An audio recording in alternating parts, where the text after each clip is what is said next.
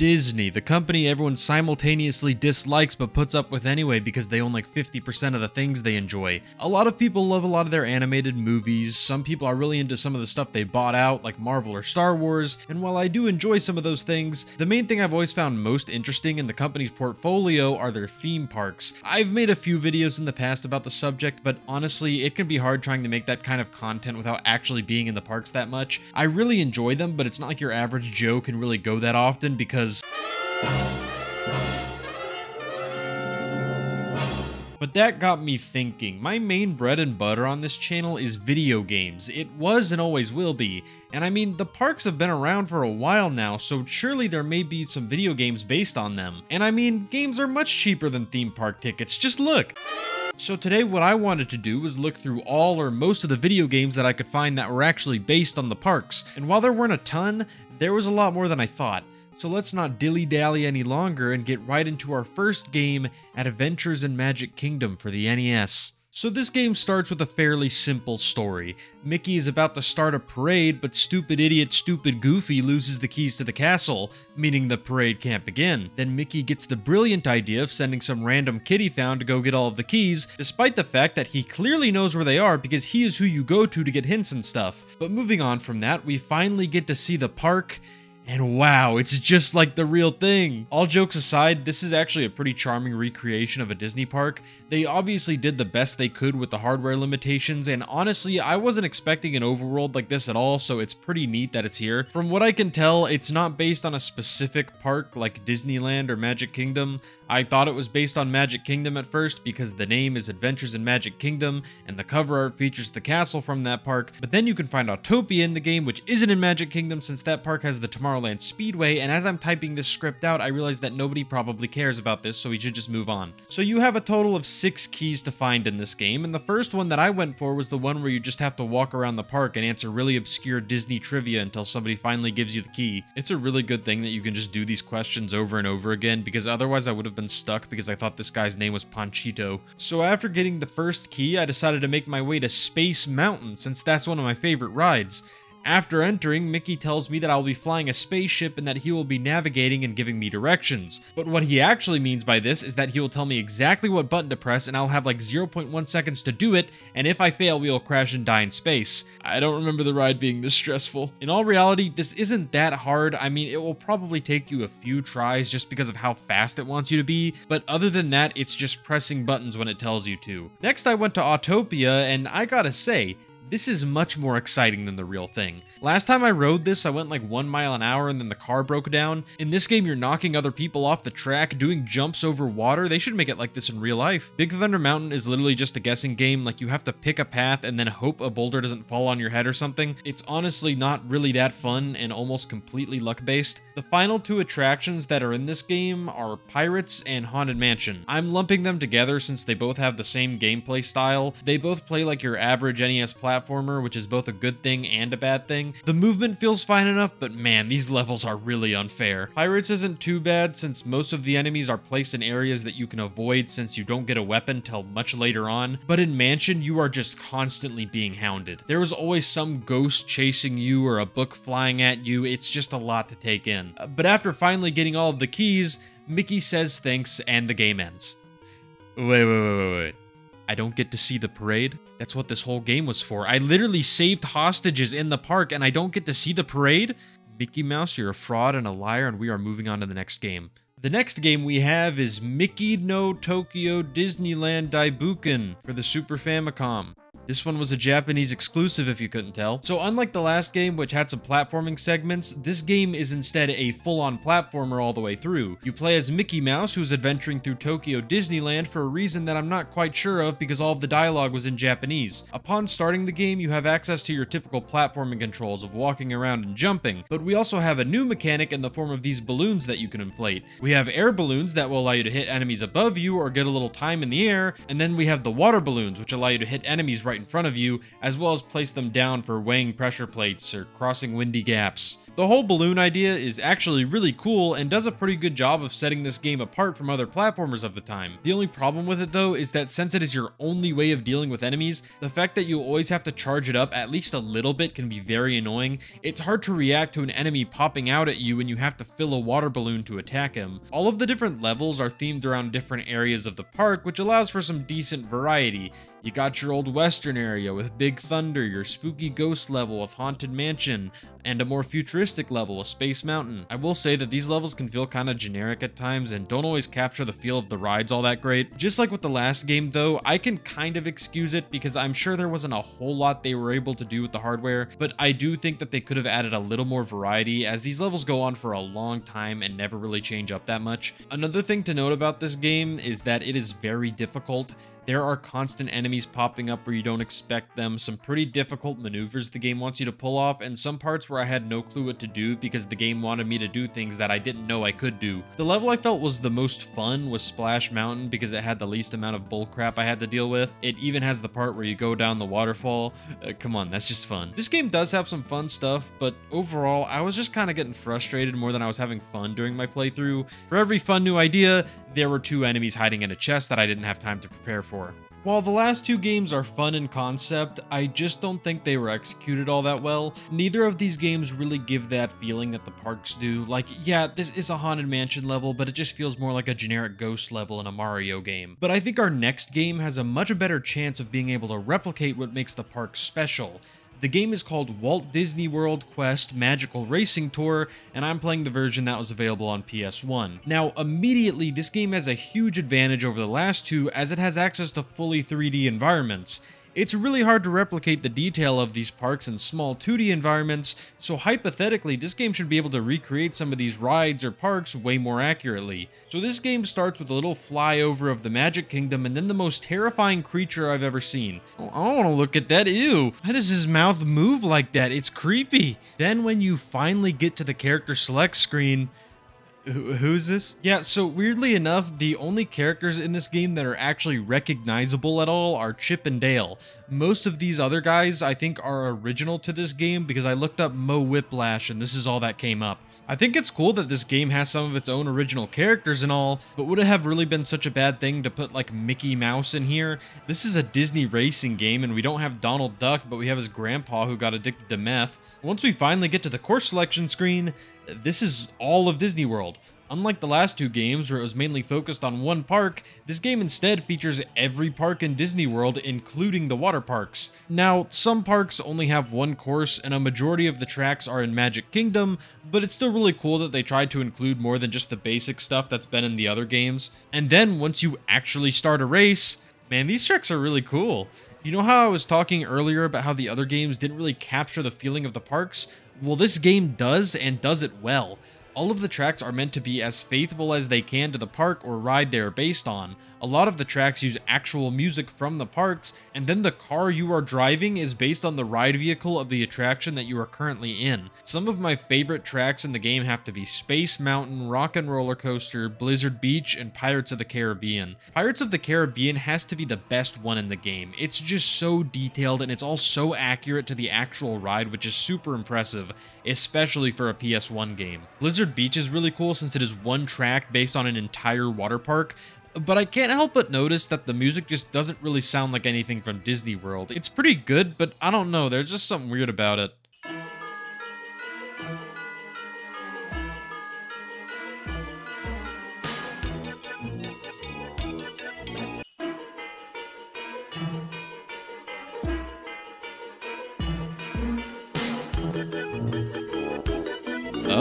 Ever played Gex 3? There's just like a real life human woman in that game, and I don't know why. On top of having the normal racing courses, we also have these mini collectathon levels where you just have to explore and find these coins. There's one based on Test Track, Typhoon Lagoon, and Disney Studios, which would have been called Disney MGM Studios back when this game came out, but I guess they didn't want to have to pay MGM. Typhoon Lagoon is probably the best out of all of these because it's based on a really nice looking park, and there's some fun hiding spots for the collectibles. It also has this guy. Okay, I've gone this whole time without talking about how the game actually plays. I should probably do that. So you know Mario Kart? Yeah, so this game is pretty much just a Mario Kart clone and there's really not much else to say about it. Drifting is the only thing I had trouble getting used to since it causes you to make really tight turns and mainly just causes me to crash into walls, but once I got used to it and learned when it was actually beneficial to use it, it wasn't that bad. The item selection is also mostly copied from Mario Kart, except we have items that can turn you into a frog and one that puts you in a spitting teacup. Both of these are very annoying, but at least the teacup one is an actual reference the parks. This game's main problem is probably just its frame rate because man, it is not good. Overall, I think this game is pretty solid, and I actually had fun playing it despite some of its problems. So if you like mediocre racing games on the PS1, today's your lucky day.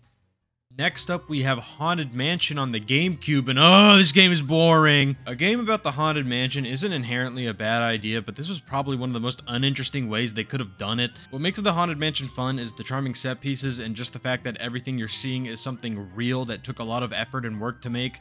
While I'm sure this game took a lot of effort and work to make, it doesn't have any of the charm or fun set pieces. This game doesn't really feel like a Haunted Mansion game, but rather a cheap Luigi's Mansion knockoff. I didn't play the whole game because I think I would have been miserable doing that, but from what I played, there was like one character that I recognized from the actual ride. Almost everything in this game is original stuff, but calling it original doesn't feel quite right either because it's just generic ghosts and spiders the whole game. But even then, the game doesn't look bad or anything, I actually think it looks pretty good for a GameCube game.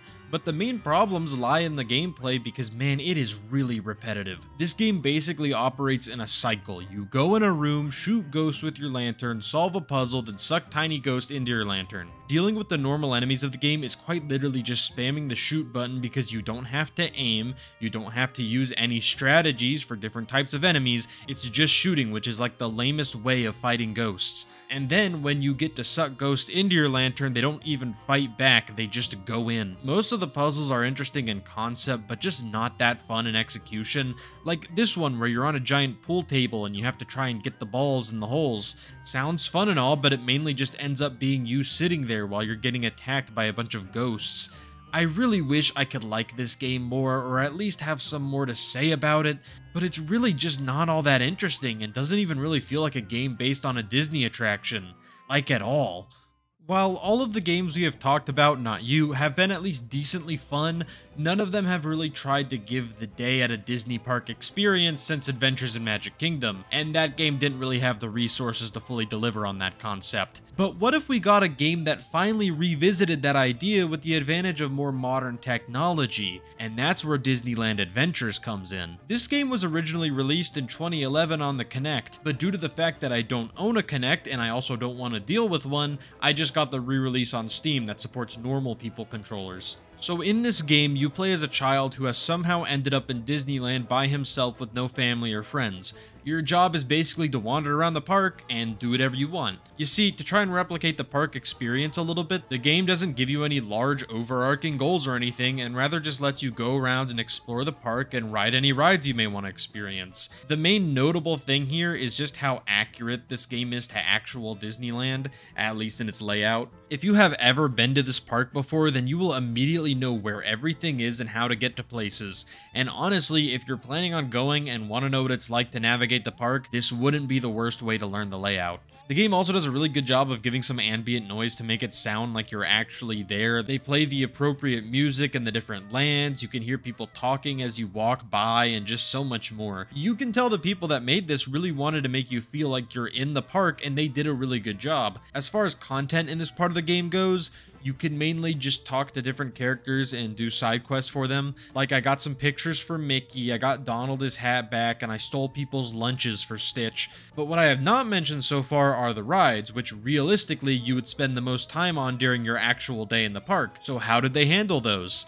Just like I said earlier, this game is kind of like a more modern version of what Adventures in Magic Kingdom was trying to do. So just like that game, all of the attractions are actually mini games that you can play. Before we really get into it though, I do want to say that it's actually really impressive that they got most of the rides in the park represented here. There are a few missing here and there, and some others that they may have not had the licensing to when they made the game, but other than a few exceptions, all of the rides you would expect are here. Now, for the actual rides themselves, eh. This is where it becomes really easy to tell that this was a Kinect game because all of these mini games require very little input with you usually just needing to steer and occasionally aim. These mini games can be really boring, but they also stretch out for a really long time. They are all divided into chapters, and some of them are like five chapters long, and a lot of the chapters are like five to 10 minutes of you just doing the same thing over and over again. I found that the most fun mini games were usually just the ones where you're going down some slope or river and need to avoid obstacles. All of the other mini games were usually either way too slow or way too easy to try to make up for the fact that this game was originally controlled with a fancy camera. These mini games were honestly just kind of disappointing to me because most of them just weren't that fun and went on for way too long. Honestly, I feel like the racetracks in Magical Racing Tour did a better job of encapsulating the feel of the rides it was trying to replicate.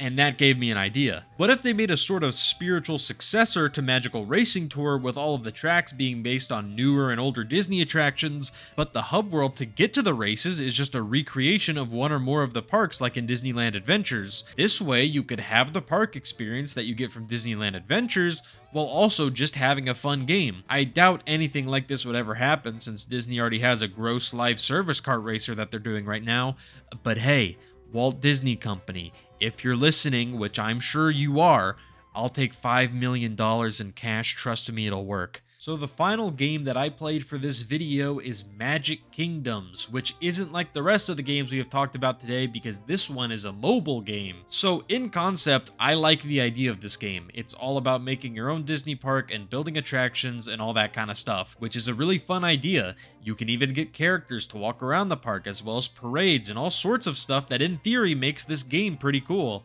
Then you remember it's a mobile game. Since this is a free-to-play mobile game, that obviously means that this game is trying to get as much money as it possibly can from you. I will compliment it and say that I wasn't getting overwhelmed with ads. In fact, I don't think there were any, but almost every single thing that you do is going to start some sort of countdown, which could last 60 seconds or 60 minutes. And knowing these types of games, I'm sure once you get far enough, it could take days. This is obviously because the game wants you to buy its premium currency so that you can skip these wait times and access more content. This might actually be the most accurate Disney Park game. Yeah, this isn't really a game you should waste your time with. It just wants your time and money without offering an experience that's really all that fun. So those were all the games that I played for this video. But we're not quite done yet because there are a few others that I didn't mention or couldn't play that I still want to talk about. First, I'm going to mention the Epic Mickey games since those games take a lot of inspiration from the parks. Pretty much all of the levels in both of the games are based on some Disney park land or attraction, and it's really cool. I made a whole video on this series a little while back, so if you want to hear me go a little more in-depth, then you should check that out. I'll probably do another video as well when the remake comes out, so stay tuned for that. We also have the Walt Disney World Explorer, which was available for Windows computers in the late 90s. This is less of a game from what I can tell, and more of just a really in-depth advertisement for Disney World. I don't know how else to describe it, so here's a clip to maybe give you a better idea. Guests feel hot breath and something wet on their necks. Virtual Magic Kingdom looks to be like a Club Penguin type game, which means I probably would have been hooked if I played it as a kid. I don't really know much about this game, and there are probably a bunch of videos that explain it much better, so if you're curious, I would just go watch one of those. The final game we have is Toy Story Mania. This isn't a recreation of the ride or a reimagining of the ride, this is just a straight up port of the ride to consoles and PC. This makes sense because it's really not the most complicated ride and it's pretty much all screens. For those reasons, I don't really care for the ride that much, so I'm not that interested in the video game version of it either, and it's like $20 on Steam, so no thanks. Also, one more thing before we finish up, I would have covered the Pirates of the Caribbean games, but there are just a lot of them and they're all based on the movies, so I just didn't really feel like those fit the video. So those were all of the Disney park games that I could find. And I gotta say, while most of them weren't any more than just okay, that's honestly more than I was expecting. Magical Racing Tour and Disneyland Adventures definitely stuck out to me the most because Racing Tour is genuinely just a pretty solid game, and Disneyland Adventures, despite having a lot of problems, definitely nailed the park atmosphere. Now that we're all done with the Disney Park games, I am kind of curious if their competitors ever did anything with video games. Welcome to Universal Studios! Never mind, I was just joking. Time to go now, bye.